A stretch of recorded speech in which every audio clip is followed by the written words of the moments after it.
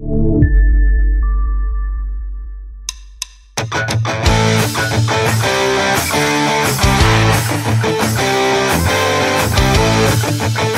seperti apa nasib Persik bila tak segera melakukan pembenahan total. Performa mereka hingga 12 pertandingan di putaran pertama Liga 1 belum juga memuaskan.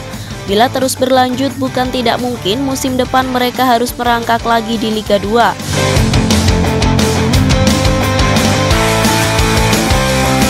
Kekalahan dari Persija dan itu terjadi di kandang sendiri membuat mereka hanya bisa nangkring di posisi 14 dari 18 klub Liga 1. Artinya hanya dua strip dari klub teratas yang bakal degradasi.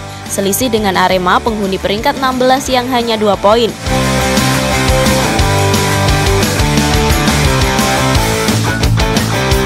Menerapkan skema 4-3-3, problem lain kubu Persik saat ini adalah lini depan yang lempem. Kehilangan Flavio Silva dan Jevinho membuat ujung tombak benar-benar tumpul. Meskipun sempat menjebol gawang Persija, penampilan M. Hanafi sebagai pengganti dianggap kurang maksimal. Flavio dan Jevinho sebenarnya sudah mulai pulih, namun Marcelo tak berani memainkan.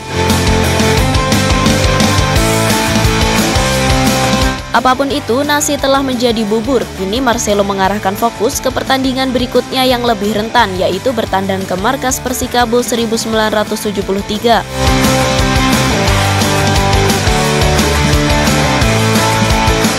Di atas kertas, Persikabo bukan lawan yang berat, posisi mereka di peringkat ke-17. Namun karena bermain di kandang sendiri, mereka sudah pasti tak akan mudah dikalahkan. Lebih-lebih, catatan tandang Persik juga tak bagus-bagus amat.